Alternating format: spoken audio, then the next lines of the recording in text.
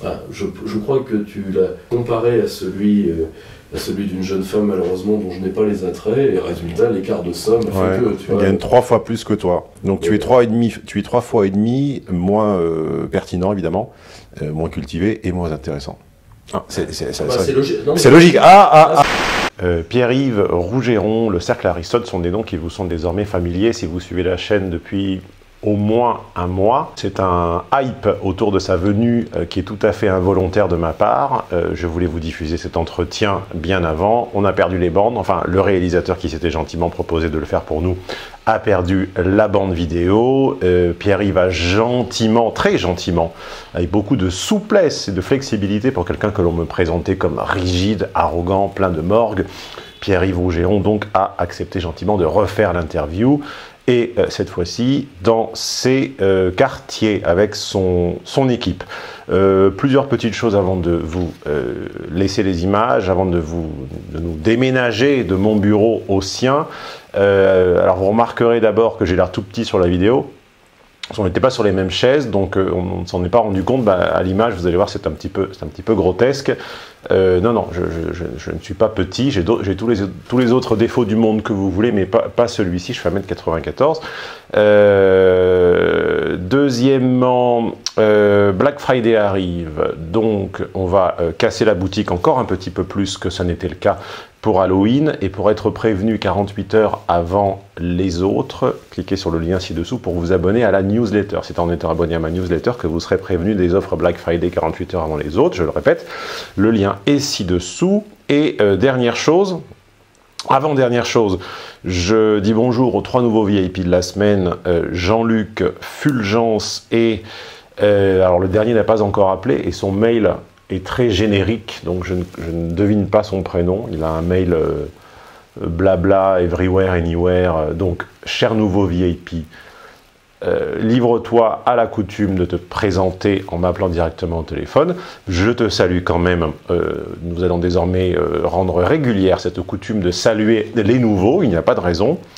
Et pour finir, oui, alors je hum, jouons avec. euh, alors je vous en reparlerai dans les prochaines vidéos, mais j'ai envie de jouer à comprendre l'algorithme YouTube qui s'est un petit peu fâché contre ma chaîne, euh, selon moi sans raison, puisque nous étions le mois dernier euh, sur des pics d'abonnements journaliers à, à plusieurs centaines d'abonnés, entre 100 et jusqu'à 400, 500, 600 au moment de l'affaire Belle mais Noire, de cette vidéo qui m'a valu la- l'aigreur, l'acrimonie d'une certaine communauté. Et euh, depuis quelques jours, euh, l'algorithme a décidé de nous virer des abonnés ou de nous faire du moins 3, du 5, du 10, du 11 abonnés par jour, ce qui n'est pas du tout compatible et normal par rapport à une chaîne de, de près de 50 000 abonnés. Donc, afin de me permettre, j'en ai discuté avec coach YouTube, nos opinions divergent sur le sujet, afin de me permettre d'infirmer ou de confirmer la thèse selon laquelle ma chaîne aurait un malus euh, euh, interne à YouTube, selon laquelle on aurait été classé peut-être euh, pas assez bien pensant, progressiste, inclusif, libertaire ou féministe. On va faire des jeux. C'est-à-dire qu'à chaque, évi- à chaque vidéo, je vous demanderai de vous livrer à un défi très simple, totalement gratuit pour vous, mais qui me permettra, moi, en regardant les stats, de comprendre, de rebrancher mon cerveau ingénieur et de débrancher le cerveau sociologue, et d'essayer de comprendre, un, si l'algorithme nous a malussé, et deux, euh, comment euh, il euh, fonctionne clairement. Parce que j'en ai un petit peu marre de jeter comme ça des centaines d'heures de contenu dans, l'air en attendant que des miettes retombent. On devrait être à 80, 100 000 abonnés. Ce n'est pas encore le cas. On sera, on sera à 50 à la fin de l'année, je l'espère. Donc, le l'unique petit défi du jour que je vous demande. Je voudrais que 200, per- 200 d'entre vous s'abonnent aujourd'hui. Vous, serez plusieurs milliers à regarder cette vidéo sans être abonnés à la chaîne car le, flux, hein, euh, l'algorithme invisible, le- la, la main divine, l'ombre divine qui plane au-dessus de nos têtes vous font remonter mes contenus régulièrement. Vous trouvez que ce n'est pas la peine de vous abonner. Je vous demande simplement comme un jeu, comme un exo, pour me montrer, pour infirmer ou confirmer ma thèse, de cliquer sur le bouton abonner. Vous pourrez toujours vous désabonner dans quelques vidéos si vous vous faites chier. Tentons juste de percer à jour les secrets de l'algorithme. Alors, qui présente qui? Euh, Je ne suis pas chez moi, tu n'es pas chez toi. Bon, euh, contexte spatio-temporel, euh, comme dit l'humoriste, euh, on s'en fout, hein, sur Internet, le temps n'a pas d'importance. Alors, Pierre-Yves Rougeron, je vous dois des excuses. Je vous en ai parlé à plusieurs reprises, pas forcément tant en vidéo que dans les petits... J'ai instauré la mode des posts. Vous savez, entre deux publications vidéo, je vous mets un post en texte avec une image dans lequel je vous ai annoncé Pierre-Yves à plusieurs reprises. Et vont m'avoir reproché de, ne, de vous l'avoir euh, fait à l'envers, de ne jamais vous l'avoir diffusé. Alors vous avez raison, je vous l'ai fait à l'envers, mais c'est pas ma faute, c'est parce qu'on me l'a fait à l'envers. Tu es témoin qu'on a déjà enregistré cette interview, que euh, le réalisateur a quelques petits problèmes, euh, avait, je pense qu'il a toujours quelques petits problèmes de rangement chez lui, et la carte mémoire contenant le son, on ne sait pas si les souris l'ont bouffé, en tout cas, on n'avait pas de son. Donc, euh, j'ai pensé que euh, notre seule faciès, euh, sans nos dires, vous intéresserait pas beaucoup sur une durée de 30 minutes, et donc je, vous ai épargné la, version Rougeron-Édouard en film muet. Aujourd'hui, on espérera avoir le son et l'image. bonjour Pierre-Yves, bienvenue chez toi, chez ton clan, chez ta meute, chez ton groupe. Alors, je euh, rappelle que le principe de ces rencontres avec des interviews, euh, avec des, invités euh, exo-gamme, entre guillemets, mais bon, avec un fond de ligne commun, ces interviews reposent sur trois questions qui sont identiques toute l'année. la première, ce sont, vous savez, vous connaissez, vous connaissez mon, connaissez la, posture idéologique d'une de mes gourous, Jean-Marc Jancovici qui dit l'importance des informations est inversement proportionnelle à la place qu'elles ont dans, le journal. C'est-à-dire qu'en général, ce qui fait deux lignes est, 5, 10, 20 fois plus important que ce qui fait la une. Alors ça n'échappe pas en ce, en ce moment, euh, au vu de ce que j'ai des, titres des journaux ce matin. Donc, euh, premier, exercice euh, dialectique entre nous, lister les enjeux, indépendamment de ce dont on vous bourre l'esprit à travers les médias, euh, ce que mon invité considère comme étant les grandes lignes de fracture, les grandes lignes de lecture, la grille de lecture du monde contemporain. Deuxièmement, après les avoir balayés comme ça, euh, de façon un peu, un peu scolaire, pour se délier un peu la langue, on les articule, on les hiérarchise, et il m'explique en quoi celui ou ceux qu'il estime être les plus importants éclairent les autres. Et troisièmement, dans la partie que, que je suis assez fier d'appeler délit d'initié, il illustre par une de ses anecdotes personnel ou professionnel, alors, euh, qui un licenciement, euh, qui euh, un livre, qui quelle que soit l'anecdote, la fracture dans son parcours, il en choisit une qui lui permette d'illustrer un de ses concepts parce qu'il l'a vécu un peu dans sa, dans sa, dans, sa chair, quoi. Passer du concept au concept incarné, comme disent les textes sacrés. c'est ton expression, ça, Pierre-Yves. Tu n'es pas, tu n'es pas encore réveillé. Alors, première de mes trois petites questions les euh, enjeux. Donc aujourd'hui, si à lire les médias généralistes, l'enjeu de la Ve République, c'est euh, Mélenchon chez le juge. En deuxièmement, ça doit être, euh, je sais pas quoi, un flic par synagogue. Et en trois, le, prix, le prix de l'essence. Bon, ça, donc on s'en fout, alors, à peu de choses près. selon toi, qu'est-ce qui se passe? Quels enjeux éclairent la situation de merdoiement de la France actuelle? Alors, pour moi, tu as trois trois facteurs euh, systémiques pour ce qui est de la, situation française. Premièrement, tu as la double guerre civile froide qui est en cours, donc par, enfin, la triple guerre civile froide qui est en cours, centre-périphérie, c'est-à-dire que tu as des villes qui sont en train d'essayer de larguer les espaces qui les nourrissent, donc le périurbain, la fameuse France périphérique, quand bien même celle-ci est plus peuplée que le cœur des Qui les nourrissent économiquement ou qui, les, nourrissent au premier degré Qui les nourrissent au premier degré, d'abord, et qui les nourrissent économiquement aussi. Hum. Parce que c'est cette petite classe moyenne qui va faire des enfants qui vont servir de gestionnaire à la technostructure. la haute bourgeoisie euh, veut. Euh, la, haute, la, haute, bourgeoisie rentière veut des places de rentier pour ses rejetons. D'ailleurs, qui a vu. Euh, euh, Thomas Hollande, je cite des héritiers au passage, hein, qui a mmh. vu Thomas Hollande, le fils Fabius ou autre, je pense que mis à part Rentier, de toute façon, ils seront foutus de faire quoi que ce soit d'autre. Donc, tant qu'à faire, autant aller prendre euh, euh, des, fils de classe moyenne. Oui, enfin, Hollande, Fabius, pour faire plaisir à l'amicale de la bien-pensance, comme tu dis, on peut aussi mettre le fils Kadhafi dedans et tout. Hein, c'est pas, tu ne fais pas une hiérarchie par ethnico-religieuse. Non, non, on est bien d'accord. si tu veux, Parce que l'amicale nous surveille. C'est le, oui, mais enfin, c'est le, le, principe, si tu veux, de c'est chez, chez que, que, tu as la, théorie de la dégénérescence en trois générations.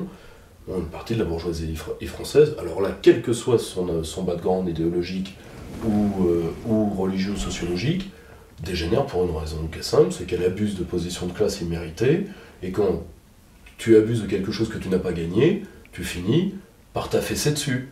Bon, ça c'est partout, en tout temps, pour tout le monde. Donc, si tu veux, tu as cette guerre civile froide là. Tu as la guerre civile froide, d'une part du lumpen prolétariat, qu'on a laissé se criminaliser, particulièrement dans les populations issues de l'immigration. Pourquoi? Parce que le pouvoir en a besoin. Déjà par qui a vu la gestion de certaines villes de banlieue parisienne, je me rappelle d'un bon petit porcinet UMP qui malheureusement nous a quitté, petit ange parti trop tôt, qui s'appelait Eric Raoult, euh, qui disait bien à ses administrés, c'est le dealer de porte cochère ou moi? Donc, euh, réalisez-moi, c'est le seul moyen. En réalité, il y avait une, sorte de cogestion municipale, comme euh, me l'avait dit un jour Xavier Lemoine, maire de Montfermeil ma ville est calme, l'imam et le dealer s'entendent plutôt bien en ce moment. Donc, si tu veux, gestion municipale. Et tu as une troisième guerre civile froide qui, elle, est la plus, je pense, la plus grave et celle qui aura le plus de conséquences. On hiérarchise pas trop pour l'instant, on balaye. Non, non, non, mais si tu veux, c'est un seul et même phénomène, de triple. Ça, c'est le, le, le, le, troisième, c'est le troisième enjeu, enfin, c'est l'un des plus gros enjeux, si tu veux, qui est qu'une partie de l'élite est en guerre avec la population. Pour l'instant, l'inverse n'est pas vrai. Ce qu'on appelle populisme, qui est une réaction, si tu veux, euh, qui, euh, c'est une réaction de globules blancs, quoi. C'est une, une, défense du corps, euh, quasiment automatique, tu vois. C'est même pas verbalisé, c'est pas théorisé. si tu veux, c'est une réaction d'autodéfense. Alors que, il suffit d'ailleurs de regarder Emmanuel Macron, qui, contrairement à tous les siens, a beaucoup de mal à cacher son mépris derrière ses dents pour, pour voir ce qu'une partie de, de l'élite entend faire de la population. Ça, c'est l'un des vrais enjeux pour la France. Bien plus grave que Mélenchon euh, chez le juge pour à peine trois députés au Parlement européen. Tu en as un second qui est lié, c'est que la pire des choses que, que si tu veux, c'est que pour faire perdurer sa domination, l'élite, ça c'est le deuxième, à mon avis, grand enjeu, a mis à sac l'école républicaine, parce que l'école républicaine, quoi qu'on pense d'elle, était arrivée à des résultats. Je vais te donner un exemple très simple. Il y avait en 1967, à peu de choses près, 30% de fils d'ouvriers à l'ENA, mais c'était parallèle à Normal Sup, à Polytechnique. Aujourd'hui, tu as moins de 10% de fils de classe moyenne dans la plupart de ces écoles. Donc, si tu veux, la haute bourgeoisie a fait en sorte de foutre en l'air un système scolaire qui était à la fois égalitaire et élitiste. Pourquoi? Pour réserver euh, les postes à responsabilité à ces rejetons en, si tu veux, court-circuitant 90% des lycées de France. Et résultat, par exemple, pour faire Normal Sup, aujourd'hui, il y a moins de 10 lycées euh, qui envoient leurs élèves à Normal Sup. Même chose pour Poly, même chose pour, euh, pour les autres. Et tu as, à mon avis, la summa division, c'est-à-dire l'enjeu des enjeux, qui est que si tout ça était possible, si tu veux, euh, à la fois euh, l'humiliation du peuple français, sa substitution culturelle dans un certain nombre de parts de notre territoire et autres, c'est qu'avant tout, on leur a enlevé la puissance des puissances, la faculté des facultés, qui est la souveraineté. C'est, euh, je dis pas, si tu veux... Tu, tu connais l'UPR si tu veux. Alors maintenant, il paraît qu'ils en ont fait une deuxième avec un mec qui passe derrière dans les chiottes et qui dit Est-ce que tu, connais En Marche? Mais donc, alors maintenant, tout le monde connaît l'UPR. Maintenant, ils sont passés sur TF1, ça y est. C'est grâce au fils Enthoven. Si tu veux, les voix de l'histoire sont parfois bizarres, tu vois. donc, le, pourquoi C'est pas de, de, si tu veux, de psalmodier souveraineté, souveraineté, souveraineté. Moi, quand les gens m'écrivent, c'est parce que, si tu veux, la capacité d'attention et de compréhension est quand même en train de s'effondrer. Merci Pierre-Yves, je passe mon temps à le répéter. Le, les mecs te disent, mais non, euh, ce qui compte, c'est euh, l'identité, il faut qu'on perdure tel qu'on est. Alors, premièrement, perdurer tel qu'on est face à un futur euh, chaotique, c'est pas, pas le bon plan. Il faut être plus que ce qu'on est pour, pour survivre à ce qui va nous arriver dans la gueule, déjà et d'une. Mais deuxièmement, moi c'est ce que j'ai toujours dit, ceux qu'on appelle les souverainistes, appelons-les comme ça pour aller vite, sont des gens qui sont en réalité plus identitaires que les autres. Parce qu'ils veulent une identité en acte. Si tu veux, quand tu dis, quand tu es dans la phrase je suis chez moi, et uniquement ça, bah, tu es dans la posture d'un Indien de réserve. Géronimo aussi, il était chez lui. Ça lui a fait une belle jambe à la fin. Bon, donc si tu veux, d'ailleurs tous les peuples qui ont persévéré dans leur identité sous la forme diasporique, euh, de quoi rêvent-ils? De quoi, ont, de quoi ont rêvé euh, les Juifs avant la création d'Israël? De quoi euh, rêvent les Kurdes Etc. De quoi même,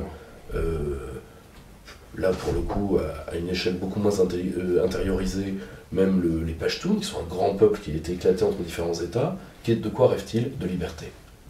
Et d'une nation homogène racialement aussi pour les peuples que tu as cités, non? Si tu veux, pour, pour certains d'entre eux, pour, pour, les Kurdes, c'est beaucoup moins vrai, parce que si tu veux, ils sont.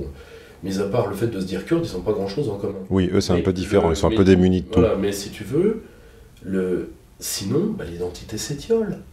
L'identité s'étiole. Euh, maintenir un être qui ne pourra pas s'incarner dans l'avenir, à quoi bon? Or, aujourd'hui, euh, c'est pour ça que moi je ne mets, pas la souveraineté au-dessus de l'identité, je mets la souveraineté comme manifestation de l'identité au premier chef. Sinon, bah tu, tu ne fais pas de l'identité, tu fais quelque chose qui porte un nom en français qui s'appelle du folklore. Voilà. Voilà. Pour moi, les trois grands enjeux. Alors, euh, si je me permets de rebondir, comme disent les mauvais journalistes de France Inter, euh, catégorisons la souveraineté. Est-ce que tu parles d'une souveraineté économique? Est-ce que tu parles d'une souveraineté euh, financière? Est-ce que tu parles d'une souveraineté culturelle? Est-ce que tu parles d'une souveraineté politique? Je parle d'une souveraineté de manière globale. Je parle même d'une souveraineté anthropologique. C'est-à-dire d'arriver à recréer des hommes libres. C'est-à-dire des hommes qui revendiquent leur autonomie, qui font face à leur destin. Alors, tu es infiniment mieux, mieux placé que moi, tu étudies les rapports interpersonnels pour voir l'effondrement de, de l'ego dans les populations. C'est-à-dire, je ne dis pas que les gens rêvent d'être des serpillères, mais aujourd'hui, les gens sont chancelants, mous, euh, si tu veux, euh, comment je vais dire ça, sont euh, totalement, tu vois, leur personnalité est effacée, tout est négociable, il n'y a pas de dur au fond. Bon, moi c'est peut-être d'avoir été, d'avoir été élevé dans un, dans un coin, dans un coin à Pécor à 127 habitants, ce dont je suis très fier, qui m'a fait peut-être croiser les derniers vrais hommes, alors peut-être que peut-être finalement que j'aurais dû rester dans ma réserve euh, mais, mais si tu veux, la perte de la liberté collective a, si tu veux, euh, a des conséquences anthropologiques terribles d'un point de vue individuel. Donc tu vois, la souveraineté, c'est quelque chose de global. Si tu veux, tu as le degré maximal d'autonomie, ce qui ne veut pas dire que tu fais ce que tu veux comme un gamin mal élevé. Le réel te résistera toujours. Mais la souveraineté te permet d'être en face du réel. Sinon, tu es un objet, tu es acté par une autre volonté. C'est ce qu'est la France aujourd'hui. Hein.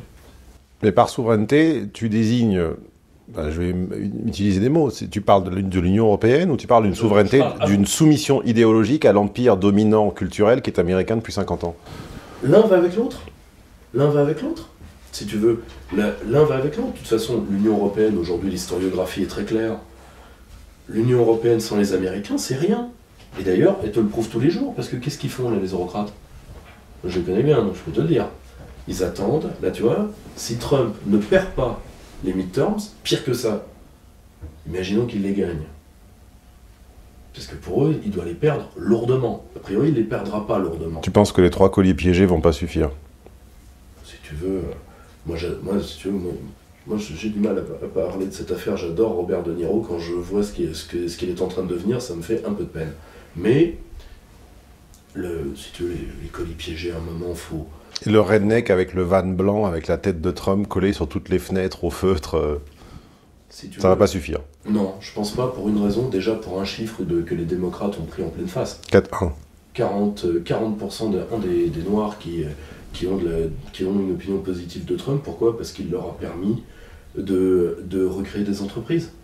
Tu vois? Et, le, le, c'est l'utilisation ignoble des minorités par le camp démocrate qui a culminé avec les affaires Obama, avec, avec les années Obama, pas de sa faute à lui. Ça a, toujours été la, méthode de domination des Clinton. Toujours. Du temps déjà de. de comment il s'appelait celui qui mettait, euh, qui mettait des tâches un peu partout là, William Clinton, qu'on a, appelé, euh, qu'on a appelé Bill sans. Et tout le monde a appelé Bill comme si euh, c'était le pote de, de, tout le monde.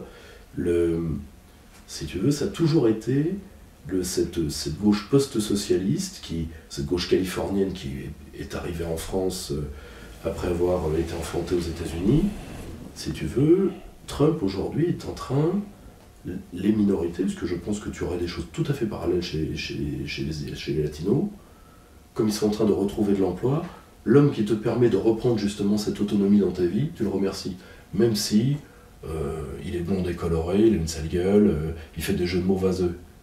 Parce que les démocrates qui t'ont tout promis en tant que latino ou en tant que noir, qui t'ont laissé dans la merde, eux, tu leur en veux. Et aujourd'hui, c'est ça qui, fait que le Parti démocrate est, euh, si tu veux, étouffe. Mais pire que ça, c'est laquais européens. Si Trump est réélu à Bruxelles, le, lendemain, il y a des mecs qui sautent par la fenêtre. Hein.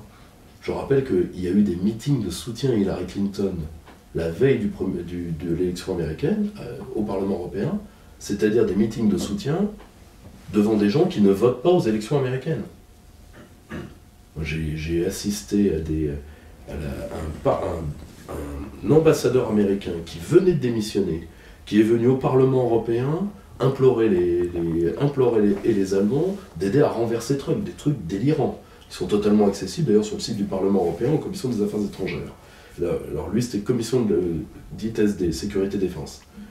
Donc si vous voulez, le, le, aujourd'hui, tout ce qu'on appelle l'élite centriste, l'élite de l'extrême centre, pour reprendre la très bonne expression du philosophe Alain Deneau, à l'échelle occidentale, est en train de péter les plombs. Ça se fait sur Trump, là ça se fait euh, sur, euh, ça se fait sur le Brésil, ça se fait sur Orban, ça se fait sur Salvini. Le, le camp du bien se demande comment se débarrasser de nous. Tu vois? La seule chose, c'est qu'heureusement, c'est là où, pour une fois, l'absence de souveraineté peut avoir du bon, c'est que c'est que quand tu habitues des populations à l'absence de souveraineté, tu crées des lâches à échelle, industrielle. Ben, l'avantage, c'est que les gens qui nous dominent, aussi cruels soient-ils, sont des lâches. Sinon, ils utiliseraient l'état fort, enfin ils utiliseraient, la, ils utiliseraient la violence, ils en rêvent d'ailleurs. La seule chose, c'est que, c'est que tu as vu Macron, il t'impressionne pas. Ouais, je l'ai vu, on était à Sciences Po ensemble en 2001, donc euh, oui, je l'ai bien vu. tu vois, c'est si tu veux, ces, gens-là sont pas faits pour, euh, pour, la, pour la brutalité. Ils sont faits pour la cruauté, mais pas pour la brutalité, parce qu'il faut avoir une colonne vertébrale pour tenir une matraque. Une brutalité indirecte. Oui, la seule chose qui cherche l'exécuteur, tu vois. Comme dit ton copain Charles Gave, la dette, c'est un impôt payé par tes enfants. Ouais, dans À moins que ce soit pas ton copain, mais je l'ai vu chez toi en tout cas. Non, mais euh, ça me fait très plaisir de le recevoir. Cercle Aristote, la chaîne du Pierre-Yves, les liens seront ci-dessous en description. Je sais que personne ne lit les descriptions, vous avez tort, j'y mets en général le lien des productions des invités, donc allez-y. Et tu, vois, le, si tu veux, cette, la, domination culturelle américaine, qui a été une domination politique déguisée, s'incarne dans, si tu veux, dans l'Union européenne, dans ce que d'ailleurs, c'est quand même des, même des écrits maintenant assez vieux, ce que le, le grand gaulliste, par exemple Alessandro Sanguinetti, disait dès 1973 dans un ouvrage magique qui s'appelle J'ai mal à ma peau de gaulliste, l'empire germano-américain. Ce qui, quand tu connais l'histoire du 19e et du 20e siècle, ne surprend personne. L'Allemagne a toujours été le lieutenant de l'Amérique pour l'Europe, dès les années 1880. Elle continue à l'être. Fais attention, là on va te reprocher ta germanophobie, euh, ne jamais prêter le flanc à sa propre caricature, attention. Euh, bon, alors du coup, comme mon invité est intelligent, il a brûlé les questions, il a fait les deux premières en une. Vous vous, dépatouillerez, euh, vous dissocierez les enjeux de, leur hiérarchisation. Il nous a donné les indices. On a bien compris que l'asservissement volontaire à une entité supranationale et l'amollissement de notre euh, ex-Übermensch devenu Untermensch étaient ces enjeux premier. Bon, du coup, on passe à la question 3, comme ça on est d'autant plus efficace qu'on refait la vidéo. Alors, euh, entre les deux, tiens, tu as gagné une question supplémentaire. Euh, tu as mentionné le Parlement européen à plusieurs reprises. Je ne suis pas certain que mes téléspectateurs, qu'on appelle entre nous les, les chatons, euh, oui, c'est pour, pour faire du YouTube game. Tu es obligé de faire des conneries comme ça. Euh, ce que Barreco appelle des barbares, il faut se barbariser. Donc c'est ce que mes auditeurs, que j'appelle également euh, les chatons, se demandent, c'est qu'est-ce que tu fous là-bas? En gros, c'est un, un, un, environnement que tu mentionnes régulièrement. En fait, ils ne savent pas à quel titre tu le mentionnes. Eh ben, c'est très simple. premièrement, j'ai beaucoup étudié l'Union Européenne. Ensuite, bon, là, c'est une aventure pour moi qui se termine, vu que je vais être, enfin, je suis d'ailleurs en cours de, de, licenciement dans un règlement de compte inter-souverainiste. Euh, voilà, donc euh, pour une raison qui est simple, c'est qu'un de mes amis, euh, un de mes amis économistes qui, qui est proche de mon équipe, a été liquidé euh, dans un règlement de compte, disons, qui, est le règlement de compte global entre euh, le Rassemblement national, Philippot, tous ces gens-là, et que j'ai refusé de, que j'ai refusé de lâcher, un, camarade parce que je ne lâche jamais mes camarades, et donc euh, j'ai été, liquidé, donc pour moi c'est une aventure qui va se terminer, qui est d'ailleurs en cours de tassement juridique, voilà, donc euh, bientôt, bah, je vais tout simplement euh, partager le quotidien de 6 à 8 millions de Français, c'est-à-dire que je vais être chômeur. Et Comme Benalla, finalement. Que, bah, comme, comme euh, le brave Alexandre, la seule chose, c'est que le, ce autre petit ange parti trop tôt, mais à mon avis, il pourra quand même, je pense, se refaire hein, de... Après tout, il est lieutenant-colonel, tu sais, il est monté haut, ce jeune homme. Or, le, donc, euh, donc voilà, j'ai été pendant des années le conseil euh, d'un député qui euh, s'appelle Jean-Luc Schaffhauser, qui est un ancien centriste, d'ailleurs même un ancien européiste, qui a voulu que je le conseille parce que pour lui, je, je pense à la fois une considération intellectuelle et parce qu'il pensait à raison que je fais partie de ce qu'il y a de plus radical, je prends radical au sens strict, de prendre un problème à sa, racine que euh, en termes de, souverainisme, et à la fin des fins, bah, j'ai fini par le, j'ai fini par le, par le convaincre, et d'ailleurs, de toute façon, le réel s'en était chargé.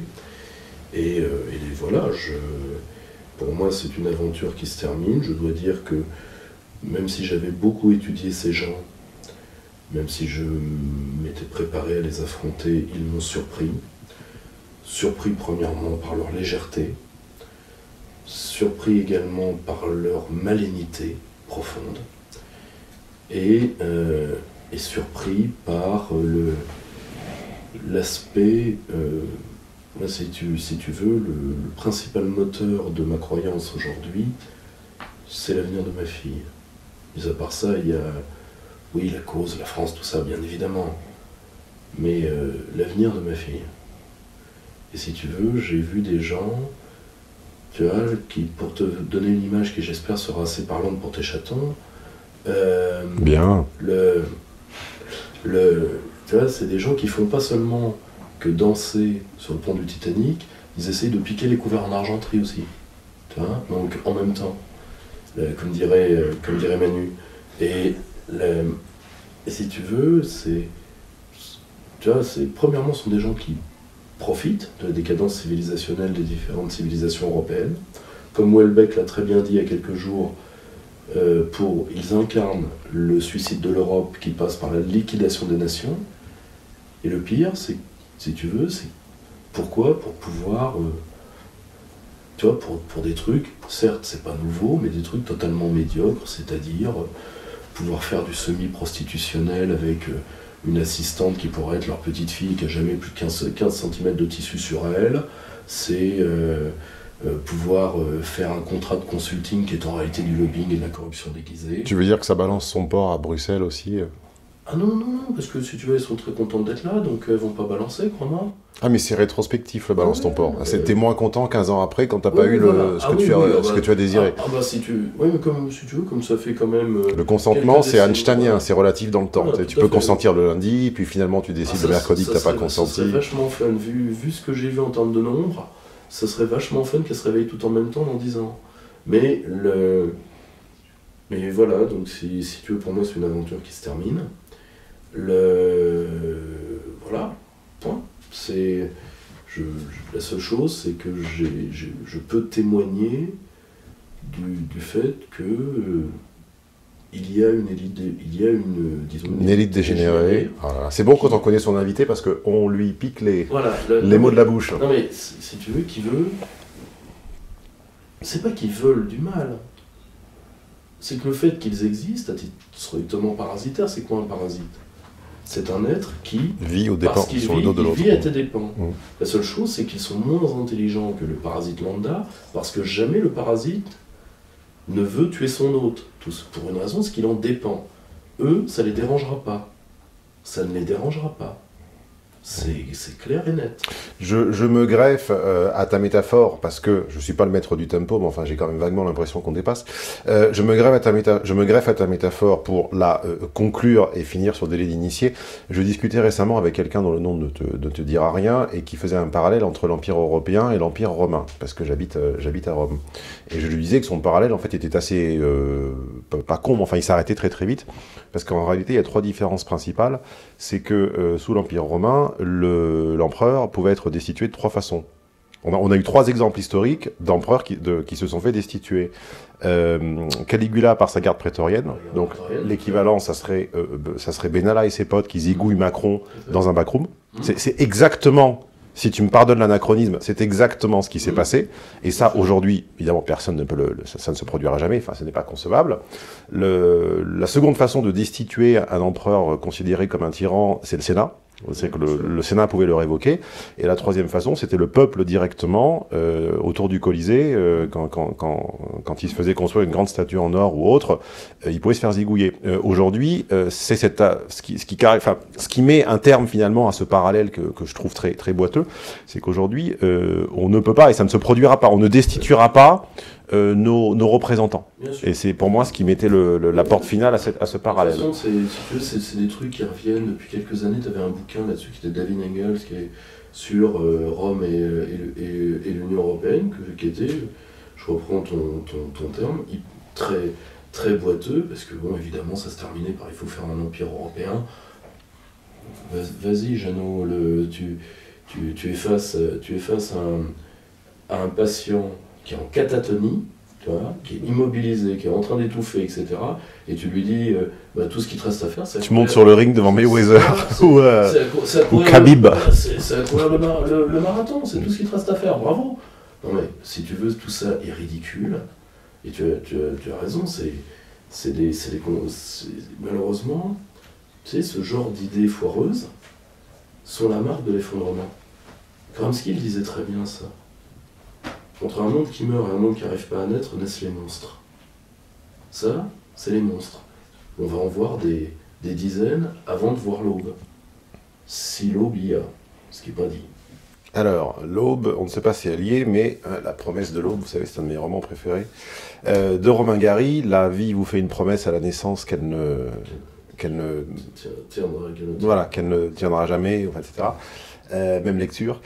Euh, donc, délai d'initié, cite-nous une anecdote professionnelle. Alors, tu l'as déjà à moitié, à moitié fait parce que tu as anticipé mes questions puisque tu les connaissais déjà.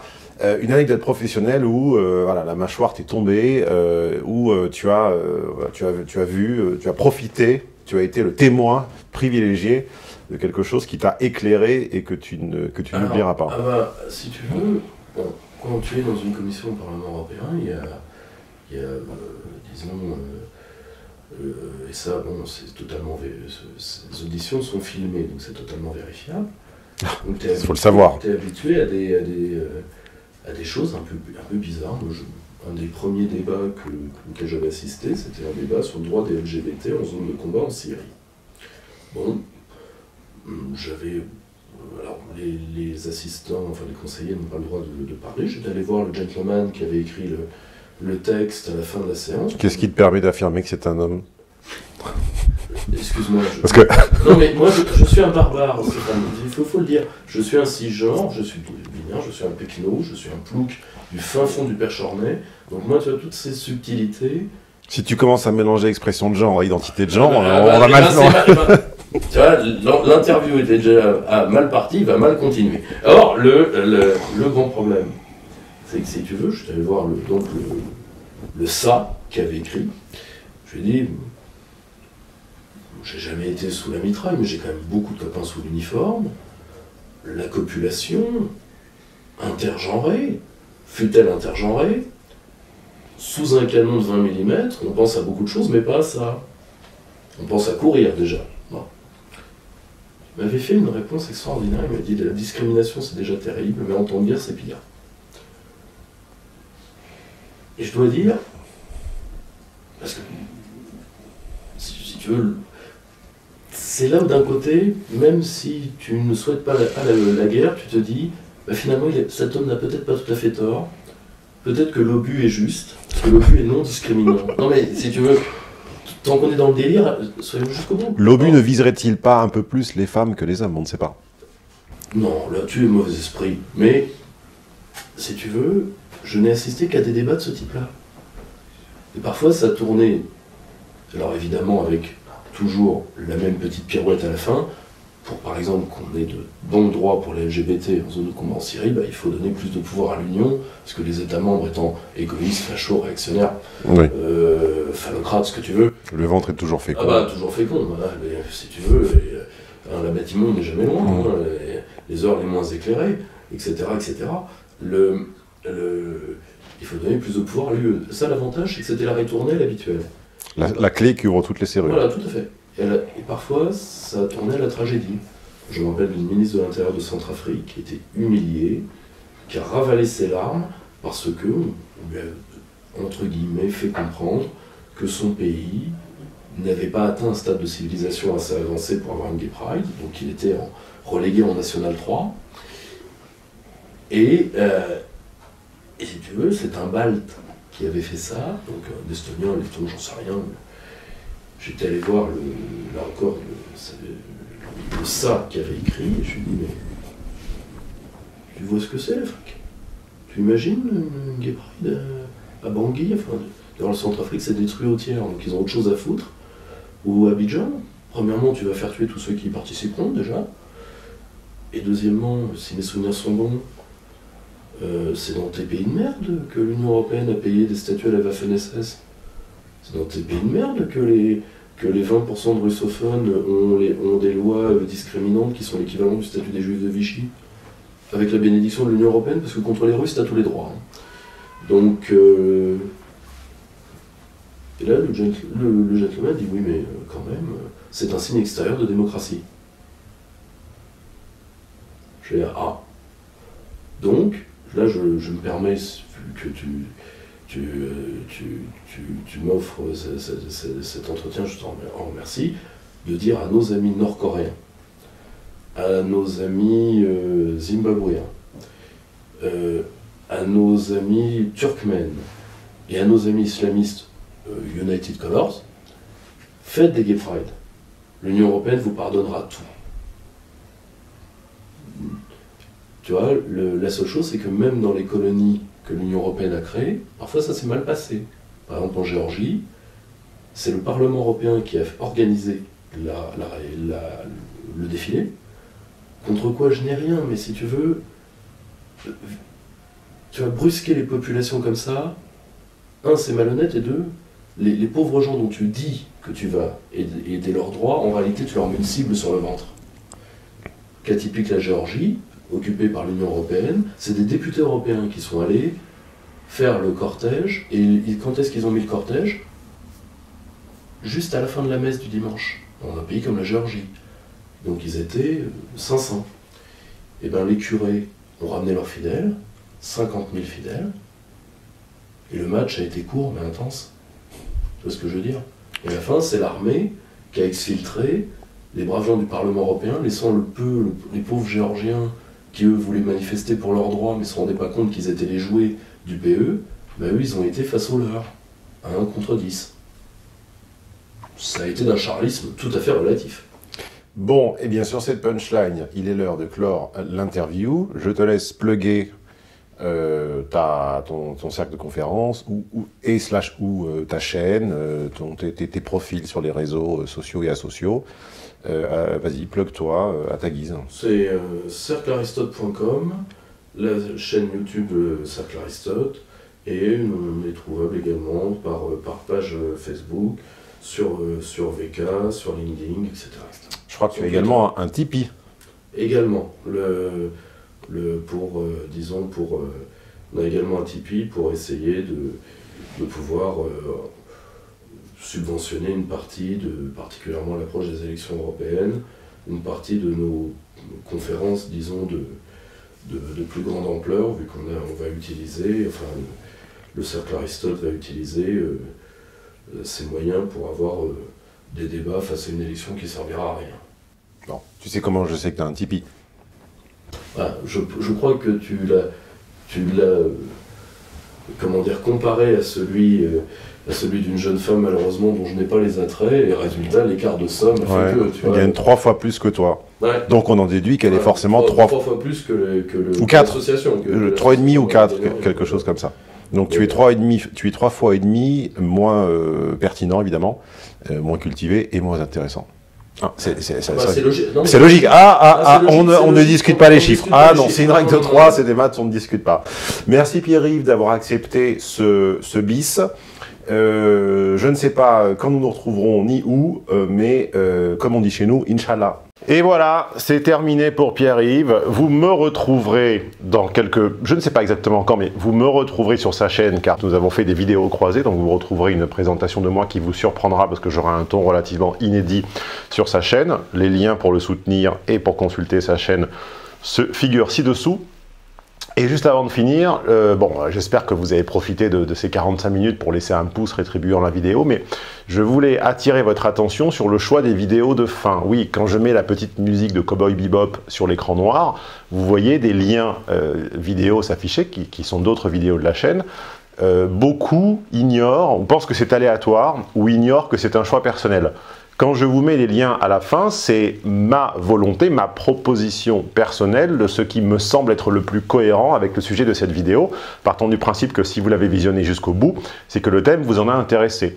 Donc si vous êtes encore avec nous maintenant, statistiquement vous êtes environ 40, euh, entre 40 et 50% à atteindre à la fin des vidéos, c'est la moyenne YouTube standard. Donc si vous faites partie des 40 à 50% qui sont encore avec moi et qui entendent ces mots, ne, ne, dédaignez pas les liens vidéo qui accompagnent la musique de, générique. C'est Bibi, hein, pas Bibi Macron, Bibi Stéphane Edouard, qui les a choisis et je vous les conseille personnellement.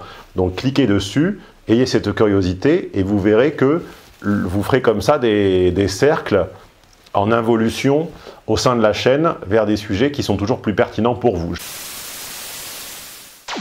quand la politique n'est pas une affaire de vie et de mort, c'est une affaire de merde. C'est vrai. Le problème, c'est que parfois, il faut prendre un gâteau de merde tous les jours. Et à titre personnel, c'est ce que je fais.